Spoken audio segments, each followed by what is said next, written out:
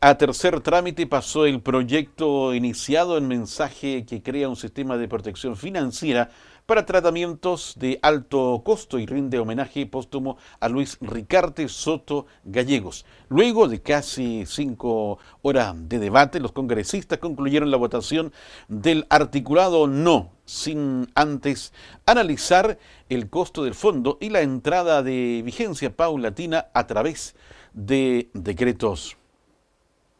Esto luego que la sala aprobara la idea de legislar y despachar el articulado de la norma. Durante el debate, los legisladores reflexionaron acerca de la calidad de la salud pública, los derechos de los pacientes y la necesidad de contar con políticas preventivas.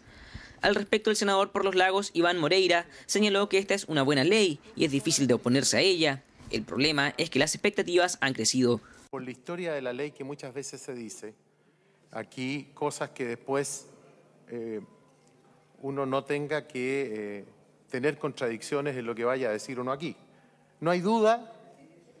que esta es una buena ley y dudo que alguien se pueda oponer a esta ley, porque ha habido una inspiración muy importante y qué buena inspiración que tenga cualquier gobierno de hacer una inversión de esta naturaleza, porque va, soluciona un problema, soluciona una necesidad,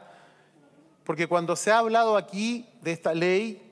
que es una ley de protección financiera para enfermedades de alto costo, en donde se ha dicho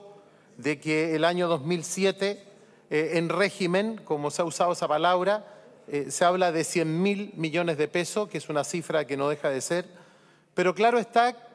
que se crearon expectativas, cuando se apruebe la ley, seguirán creándose más expectativas y quizás las necesidades que se iban a satisfacer eh, van a pasar a ser necesidades insatisfechas. Porque ¿qué va a pasar cuando se acaben los recursos? Una buena ley. No nos cansamos de repetir eso y votar a favor, obviamente, una ley de esta naturaleza. Pero también es una ley que hay que decirlo que va a crear cierta inseguridad porque ¿para cuántos va a alcanzar? La sanación de las enfermedades, la solución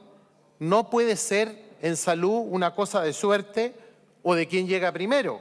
sobre todo cuando ya se ha hablado que pudiese generarse una lista de espera y que podría llegar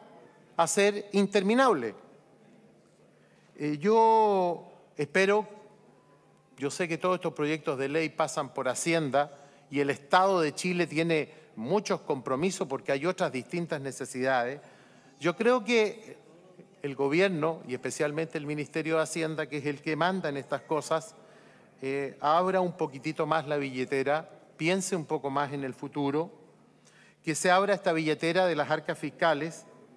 porque esta es claramente la mejor inversión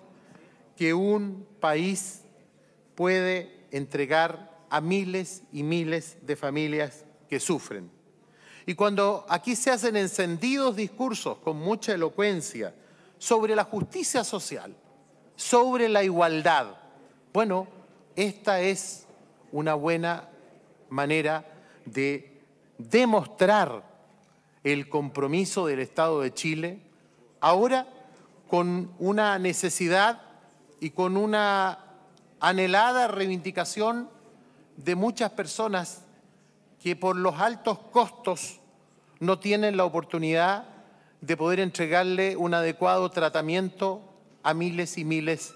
de chilenas y chilenos. Tras un largo debate al que se sumaron diversas posturas y luego de una reunión de comités y suspensión momentánea de la sesión, se sometió a votación la admisibilidad de la polémica disposición, cuyo resultado fue tres votos a favor, 22 en contra y dos abstenciones.